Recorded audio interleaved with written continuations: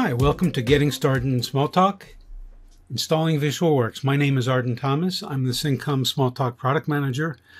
Today we're going to show you how to install and start up VisualWorks, which is one of our, our premier Smalltalk products from, from Cincom Systems. Any comments or suggestions you have to the screencast, please send them to me, my, uh, myself, Arden Thomas. I'm at athomas at cincom.com. So let's get started. If you if you are a customer or you downloaded the uh, personal use license copy, you got an ISO file, much like the one we have right here. What you want to do to first get started is go to that file. This is this is in Windows, Windows 10. Right click on it, open with. And I see I have some options here. Before Windows 10, I used a a third party piece of software called Virtual Clone Drive to mount the ISO.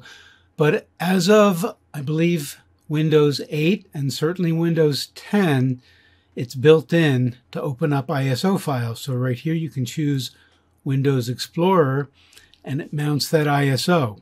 Since we're installing it on Windows, we'll come right down to here to install Win and double click on it.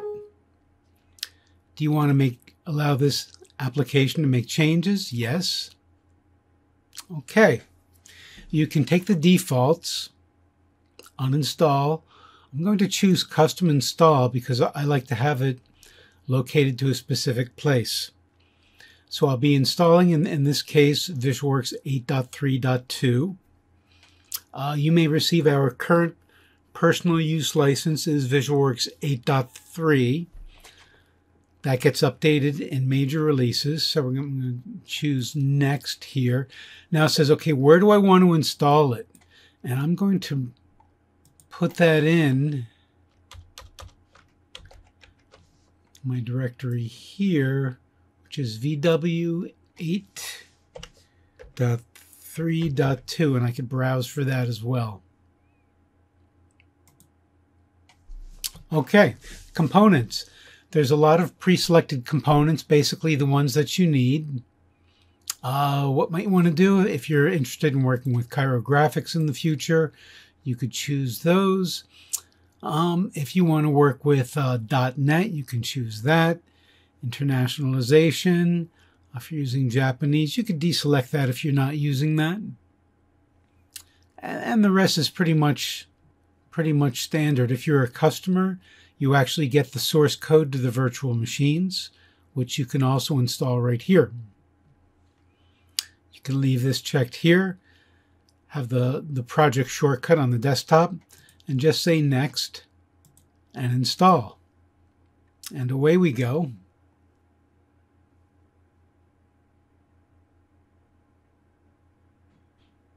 And I can see that being installed right here my VW 8.3.2 directory.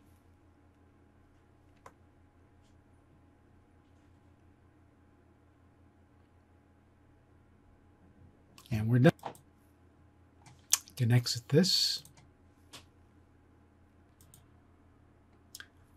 So now we have it installed. How do we start up the application? How do we start up the product? By far the simplest way is if we simply come to our desktop icon, which will be called VisualWorks Projects. If you click on that, it basically allows you to create a project or an image. I have a number here already here. Yours will be blank if you're installing this for the first time. Now, it installed here both the ability to run 32-bit Smalltalk and 64-bit. I'm going to create a new 32-bit project I'll call it test run and say OK. And there we go. I have test run in, I can come into here and help about and see that I'm running VisualWorks 8.3.2. It tells me that right here as well. And so here is the product up and running. If I shut this down, exit it, and I wish to run that again, I can go back to my projects and here it is test run and this opens it back up.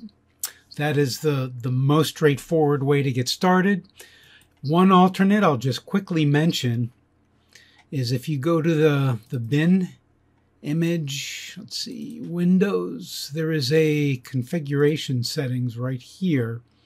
And this says for which version, where basically to find it, make sure it's where you have things set up for the version you're running. We're running 8.3.2 right here. So it has the proper directory. You want to make sure of that. And then you can simply go and as long as your properties are set up properly, you can go and click right on the, the image itself. So you would come back, go to the image directory, and click on visual. It would start something up and you would immediately save it because this is this is the this is your prototypical image right here. You want to save that, save image as, let's see, I'll, I'll call this one test. And I'll save that. Then I've got that in here, and to open that back up, I can simply click on it, double click on it to open that back up. But if it's your first time, I would recommend using the, the project launcher that we used right here.